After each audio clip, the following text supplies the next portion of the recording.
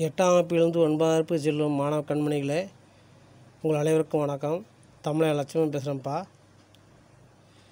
எட்டு ஏழு ரெண்டாயிரத்தி இருபது இன்று மதியத்திலிருந்து நாளை காலை பத்து முப்பது மணி வரை தமிழ் திருப்புதல் ரிவிஷன் செய்து கொண்டிருக்கிறீர்கள். நன்றாக படித்திரு படித்திருப்பேன் நினைக்கிறேன். அந்த படித்ததை வைத்து இருபத்தி ஐந்து மதிப்பெண்களுக்கு தேர்வு எழுத இருக்கிறீர்கள். நல்வாழ்த்துக்கள். இப்போ அந்த தேர்வுக்குரிய கொஷின் பேட்டர்னை பற்றி இப்போ நல்லா பார்ப்போம்.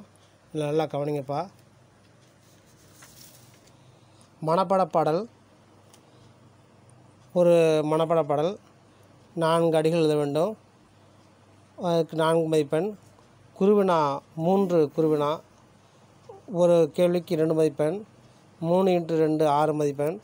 பொருத்தமான விடை தேர்ந்தெடு சூஸ் மூன்று இன்ட்டு ஒன்று மூணுக்கு எழுத வேண்டும். அதற்கு மூன்று மதிப்பெண். பொருத்தமான பெயரடையை எடுத்து எழுதுக அதுக்கு ரெண்டு மதிப்பெண் ரெண்டு மதிப்பெண். தமிழங்களாக மாற்று. காவுங்கா சாருசா ஏ கு. நம்பர்ஸ் கொடுத்துருப்பாங்க. அது தமிழங்களாக மாற்ற வேண்டும். அதற்கு மூன்று மதிப்பெண். வினைமுற்றாக மாற்று. அது இரண்டு மதிப்பெண். பொருத்தமான செய்யப்படு பொருள் எழுதுக. அது மூன்று கொடுத்துருப்பாங்க. மூன்றுக்கும் மூன்று மதிப்பெண். கோடிட்டு எடுத்து நிரப்புக. ரெண்டு மதிப்பெண். மொத்த மொத்தம் இருபத்தைந்து மதிப்பெண்கள் நீங்கள் தேர்வு எழுத உள்ளீர்கள். இப்பொழுது தேர்வுக்குள்ள வினா விடை பார்ப்போம். எப்படிலாம் கேட்பார்கள்?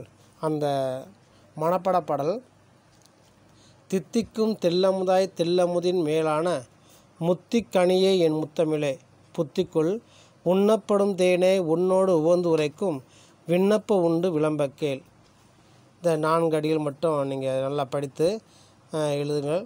அடுத்து குருவினா நீங்கள் பேசும் மொழி எந்த இந்திய மொழி குடும்பத்தைச் சேர்ந்தது? திராவிட மொழி குடும்பத்தில் உள்ள தமிழ் கன்னடம் மலையாளம் முதலானவை தென் திராவிட மொழியாகும் அதில் நான் பேசும் மொழி தமிழ் மொழியாகும். அடுத்து இரண்டாவது கன்னி என்பதன் விளக்கம் யாது? இரண்டிரண்டு பூக்களை வைத்து தொடுக்கப்படும் மாலைக்கு கன்னி என்று பெயர். அதேபோல் தமிழில் பூ கன்னி போல் இரண்டிரண்டு அடிகள் எதுகையில் தொடுக்கப்படுவது கன்னியாகும். அடுத்து மூன்றாவது வினா நீங்கள் பேசும் நீங்கள் பேசும் கவிதையில் தமிழோவியம் கவிதையில் உங்களை ஈர்த்த மிகவும் ஈர்த்த அடிகள் குறித்து எழுதுக. அந்த வினாவுக்கு காலம் பிறக்கும் முன் பிறந்தது தமிழே எந்த காலமும் நிலையாக இருப்பதும் தமிழே. உலகம் தோன்றிய நாள் முதல் தோன்றிய தமிழ்மொழி இன்று வரை நிலைத்து நிற்பதோடு நில்லாமல் நாளும் வளரும் தமிழாய் உயர்ந்திருக்கின்றது.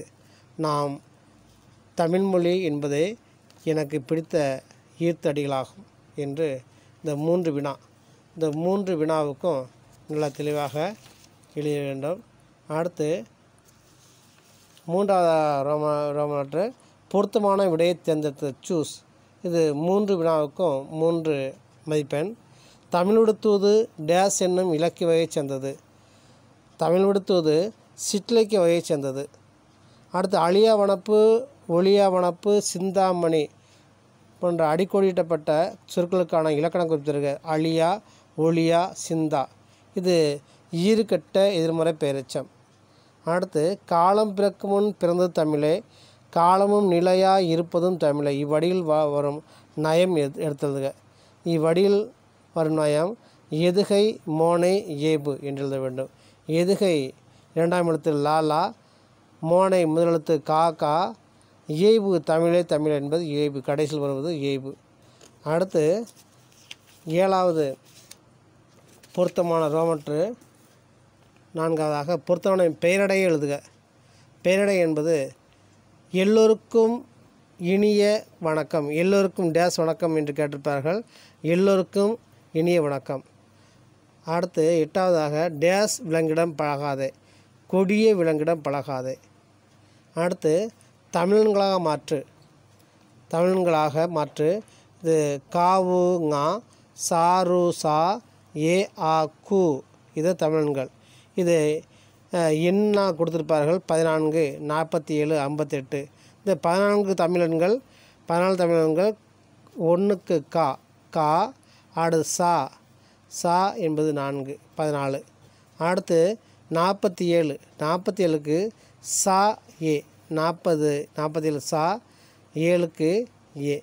அடுத்து ஐம்பத்தி எட்டு அஞ்சுக்கு ரூ அஞ்சுக்கு ரூ எட்டுக்கு ஆ. அது ஐம்பத்தி எட்டு ரூ. அடுத்து வினைமுற்றாக அடைப்புக்குள் இருக்கும் தொடரை மாற்றுக. இரண்டு மதிப்பெண்.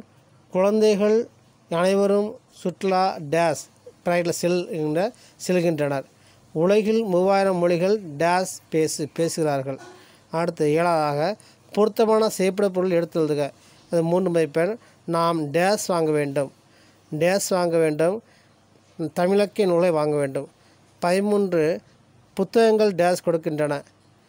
வாழ்வில் அறிவை கொடுக்கின்றன. பதினான்கு நல்ல நூல்கள் டேஸ் நல்வழிப்படுத்துகின்றன.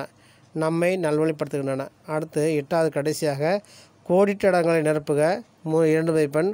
உலக தாய்மொழி நாள் புத்தகத்துக்கு பின்னால் புத்தகத்துக்குள்ள இன்டீரியர் கொஷின் உலக தாய்மொழி நாள் பிப்ரவரி இருபத்தொன்று இனிமையும் நீர்மையும் தமிழனல்.